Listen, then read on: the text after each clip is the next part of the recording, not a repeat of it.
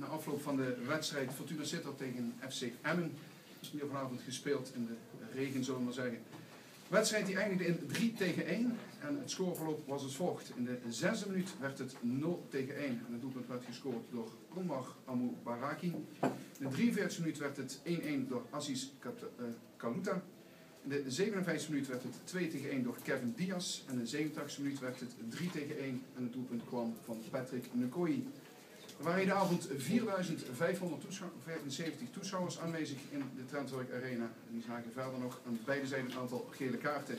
De zijde van Fortuna voor Johan de Boer en voor Kevin Diaz. En aan de zijde van Emmen voor Kai Velda, Anmar Amou Baraki en voor Wout Weghorst. Dat zijn de statistische feiten van deze wedstrijd. Ik geef het woord over aan de trainercoach van FC Emmen voor zijn analyse aan Joop Gal. Dankjewel. Ja, dit is eh, even een domper, vind ik. Want als je, als je ziet hoe wij uh, de wedstrijd beginnen, dan is dat scherp, dan is dat goed. We waren dominant, we waren bovenliggend.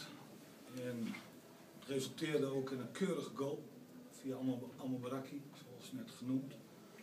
Vonden ook onze vrije man via veelal Alexander Bannik. En daar konden we aardig van profiteren in de zin van dat je dan dominant bent. Niet dat daar de allergrootste kansen uitkwamen, maar als je veel balbezit speelt, maak je wel grotere kans dat je mogelijkheden of kansen krijgt dan de tegenstander. En naarmate die eerste helft uh, vorderde, dan kom je in de 30, 35ste minuut, dan uh, kiezen we toch voor, niet bewust natuurlijk, maar om de handrem erop te leggen, even een tikkie omhoog, of twee tikkies van ach, dat rusten we even uit naar 1-0 en dan uh, gaan we het weer oppakken. En ik vind dat je dat nooit mag doen. Aan uh, de binnenkant uitverdedigen. Um, onnodig momenten weggeven waar een tegenstander eventueel zou kunnen scoren. Dat zijn dode momenten. Dat de, de drie corners achter elkaar, de derde, gewoon ook heel knullig weggeven door een, gewoon een technische fout plaats van die bal of over een zijlijn of in het veld weg te knallen, knal je hem gewoon richting achterlijn. En daar, kwam dus de tegengoal uit. En die mag hem uh, vrij inkoppen. Dus ook weer een dekkingsfout erin. We hebben daar duidelijke afspraken over wie wie pakt. En toch gebeurt het dan. En, uh, en dan ga je rusten. En dan zeg je in de rust ook van, als je zo begint zoals je eindigt, krijg je hier een immens probleem.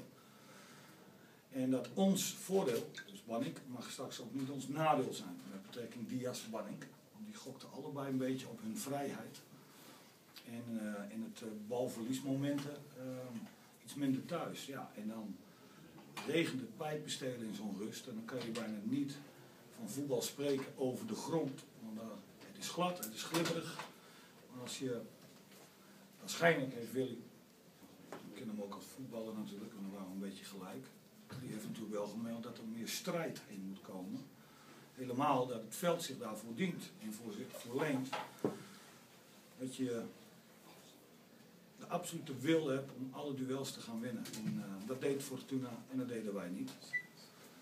Dus uh, dat is iets om even over te babbelen, want ik vind zeker dat je qua, strijdvaardigheid gelijkwaardig moet zijn als aan de tegenstander. In het begin van de wedstrijd zag je al de bal op de kruising. Net even tegen de lat aantikken van Peter van der Vlag, dat dat al signalen zijn van dat het niet goed zit. En dat heeft Fortuna uh, goed gedaan. Die compenseerde dat wat ze de eerste helft niet deden in die strijdvaardigheid, passie en beleving. En wij niet. En ik vind dat wij dat ook moeten kunnen. Nou, en dan eindigt zo'n wedstrijd meestal in een verliespartij, geloof me. Want dan gaan die ballen inderdaad mooi overheen gekopt. En dan krijg je ook nog knullige moment van wat de grote Peter van der Vlag die hem dan ook nog eens een keer loslaat en de 3-1 binnentikt. En als het 2-1 blijft heb je nog geloof, want je weet wat er gebeurt. Wij gaan risico's nemen, extra spitsen. Maar het mocht niet zo zijn. Of er moet nog eens een keer het balletje die uh, de keeper uh, Kaya loslaat en dan toch nog even voor de spits weg komt tikken. Dat het vier minuten spannend gaat worden. Maar dat kunnen we niet bewijzen, want dat is niet gebeurd. Allemaal wel uh, ja, is dit vind ik een grote domper. Ik had hier punten verwacht.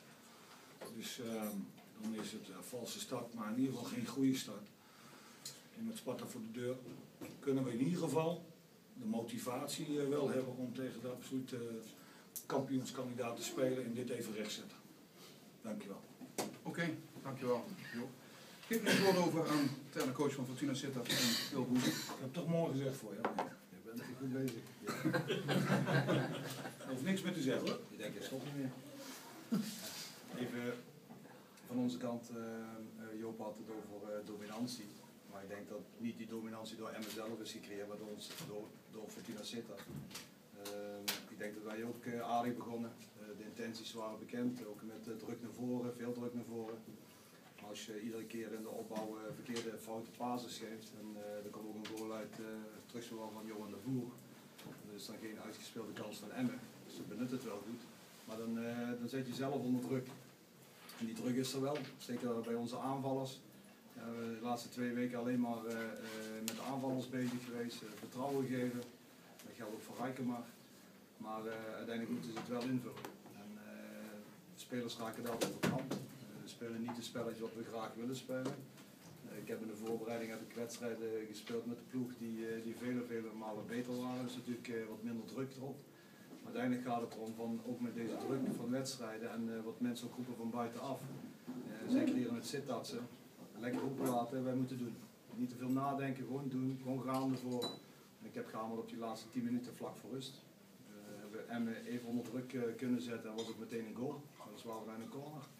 Maar het gaat erom, op die manier willen we mensen binden in het stadion. En, eh, ik hoorde net van, van Ben, 4000. Ik vind nog steeds te weinig. En eh, wij moeten dat afdwingen op het veld. En eh, ik denk als we zo spelen zoals in de tweede helft, dan, dan gaat het hier voller worden. En met die overtuiging zullen we nog meer mensen en meer ploegen klein krijgen.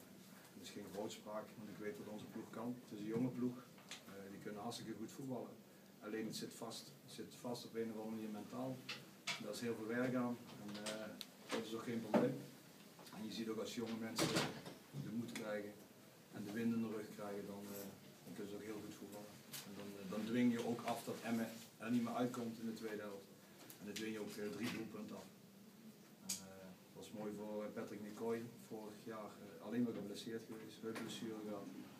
Eh, ik kon hem veel vertrouwen en die, die beloont nu even een momentje voor hemzelf en voor de ploeg. En eh, dat hebben we hard nodig. Zeker in het vaarwater waar wij als club eh, verkeren. Wil je talent ontwikkelen, dan eh, moet je uit die onderste regionen wegblijven. Die in die middenmoot eh, gaan voetballen. En zo druk wat er dan kan je ook eh, verder. Ik geef hoop voor eh, de volgende wedstrijd Excelsior. We hebben voldoende tijd om de mensen voor te bereiden. Het is maandag, niet vrijdag, maar maandag. En eh, dat is mooi op de kunstgras. Oké.